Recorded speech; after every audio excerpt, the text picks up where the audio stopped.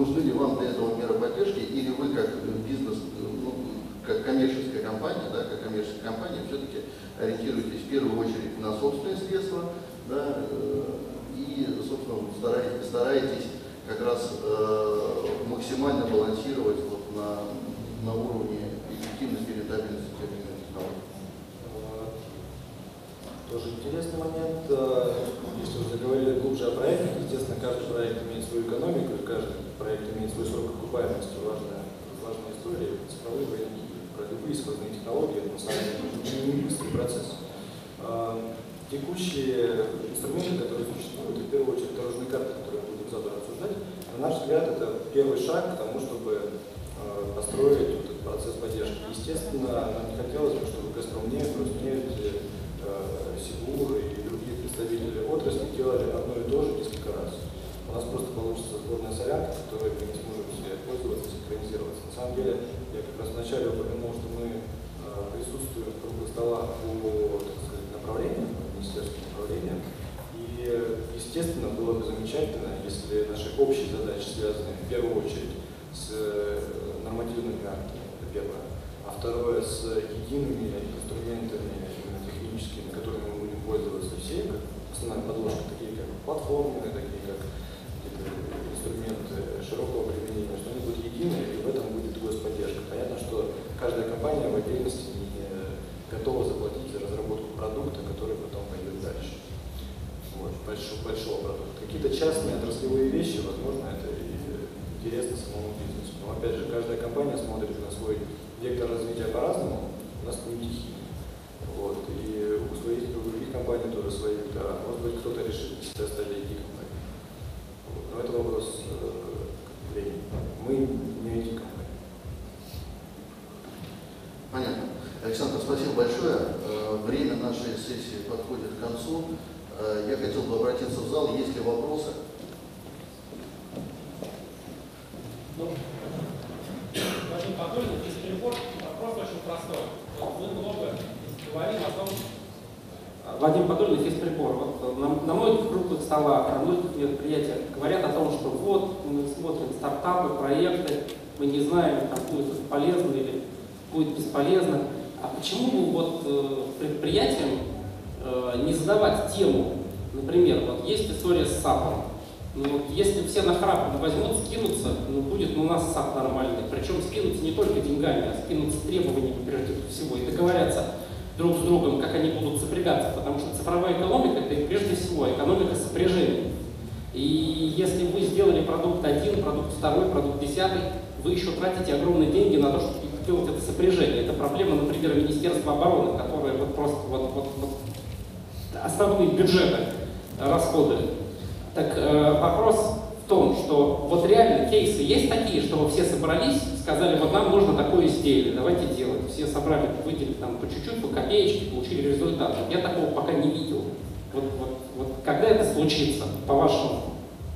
Если позволите ответить на этот вопрос. У нас просто таких кейсов много, когда как раз вот, многие компании, например, Татнефть, у нас э, подразделение свое Татнефть открыло небольшое, но как раз таки именно занимается спряжением верно вы э, заметили, что это большая ключевая проблема. На данный момент она решается именно отдельными компаниями под решением их конкретных задач. То, что эти кейсы можно масштабировать потом в дальнейшем, как раз таки, мне кажется, задача малого бизнеса найти тот самый бизнес-opportunity и потом уже начать масштабировать. То есть если перейти от э, решения какой-то одной конкретной чьей-то задачи к э, созданию продукта на рынке. Но в сентябре этого года мы, кстати говоря, планируем открытие такого инкубатор, только на эту задачу мы решили посмотреть по-другому, назвали его корпоративный инкубатор. Приглашаем сейчас э, корпорации, которые будут ставить там задачи, чтобы э, как команда резидентов, команда студентов университета Иннополис, и просто вообще любые команды, которым это интересно, могли бы там решать свои задачи и создавать стартапы или спинов под решение корпоративных задач. Но это идея, посмотрим, как получится. Разрешите вопрос к Паншину Константину. Вот э, серьезное ограничение для резидентства Сколково было необходимость э, менять юридический адрес. В этом году э, вот должно было быть снято это ограничение. Можете рассказать последние новости об этом? Ну, год еще не закончился. Главная новость. Если будете держать пальцы крестиком, давайте там на... Все-таки называли сроки апреля сдвигалось. Вот можете сказать, какие перспективы? Ну, давайте так, я здесь не для того, чтобы критиковать э, там, работу уважаемых структур, которые занимаются законотворческой деятельностью в этой стране. Э, Нам тоже хотелось бы, чтобы было раньше. Вот сейчас, на наш взгляд, э, более реалистично говорить про осеннюю сессию. Ну, причем в этом году. Хотя э,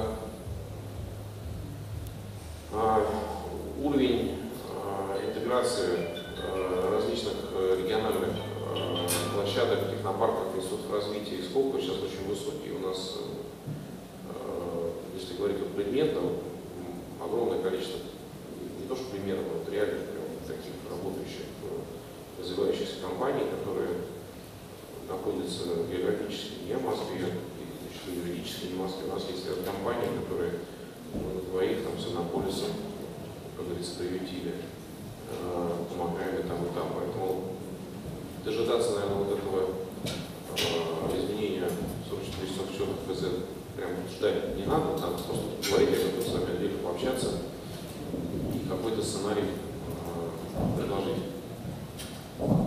Спасибо. Разрешите еще один вопрос. Вот Татьяне Сейчас. э, сказали, что будет... Коллеги, к- э, можно попросить, вот э, сейчас молодой человек задаст вопрос. Здравствуйте, коллеги. Всеволод Лущенко, Северсталь. А, В отличие от Сибура, который деятельно открещивался от мер господдержки, Северсталь с большим интересом отнеслась бы к э, поддержке в э, зоне развития регуляторной базы и преодоления регуляторных ограничений. Мы во внедрении новых технологий, вот неполный список тех ограничений, с которыми мы столкнулись. Роскомнадзор не признает обезличивание медицинских данных для коммерческих организаций, только для бюджета. Непонятно почему, по идее требования одинаковые. Ростехнадзор запрещает выдачу электронных наряд допусков для горно-металлургической промышленности. А Далее мы не можем, например, доставлять дронами грузы, потому что, а, потому что нельзя, да? то есть только в пределах заводской территории. Это вот очень краткий список, но вот понятно, что внедрение новых технологий очень часто сталкивается с вот такими регуляторными барьерами. Я благодарен очень Пашу Константину за то, что какие-то усилия в этом предпринимаются. Надеюсь, мы будем в этом направлении работать дальше, но вот явно недостаточно. И вот здесь поддержка очень пригодится. Спасибо. Я присоединюсь тоже, Сигура, может быть, не, не совсем конца меня поняли. Как раз таки вот поддержки в этом направлении мы тоже очень ожидаем, потому что наряды допуски и все эти задачи, они у нас абсолютно идентично присутствуют в нашем производстве. Коллеги, ну вот здесь я хотел бы прокомментировать, э, как, э, опять же, проектный офис при аналитическом центре правительства Российской Федерации, мы как площадка э, видим э, вот э, те, те э, движения и достаточно комплексно видим то, что происходит в рамках как раз вот этих инициатив.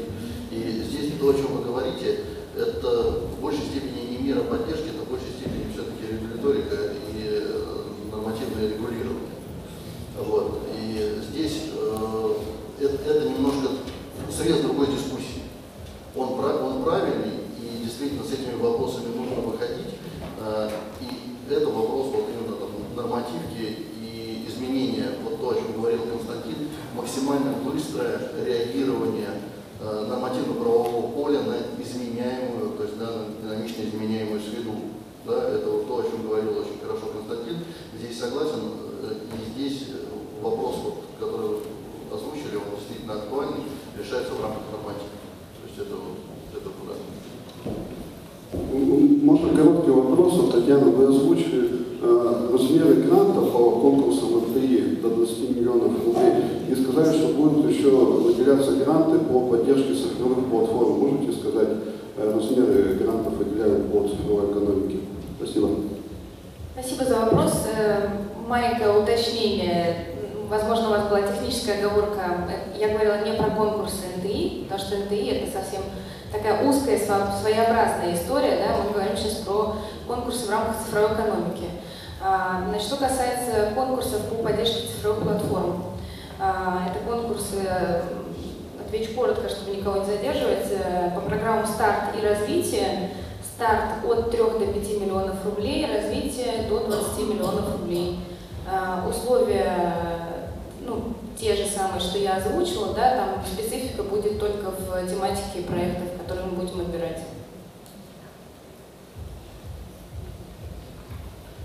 Коллеги, еще вопросы есть? благодарю всех за замечательную дискуссию, которая у нас получилась. В первую очередь благодарю